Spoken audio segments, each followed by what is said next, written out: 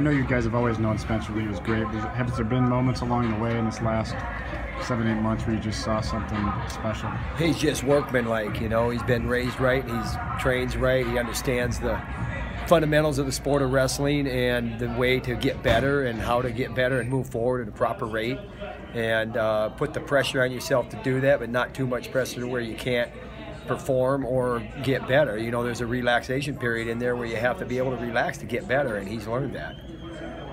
Last, going back to last night real quick, you had you had a animated one of your animated moments last, last night. Obviously, it was a big deal to you for him to get that's into a, the finals. That's a big deal, you know. I mean, we. Here's the thing: I don't really even remember that, so I'm sorry about that.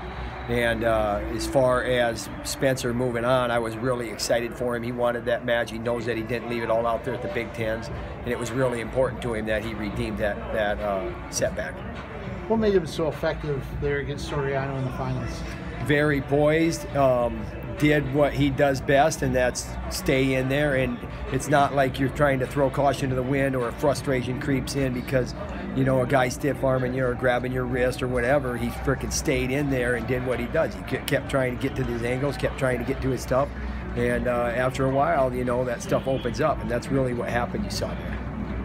At the end of his match, uh, his celebration, just put like a finger in the air. Uh, does that tell you anything about his character? You see a lot of other wrestlers.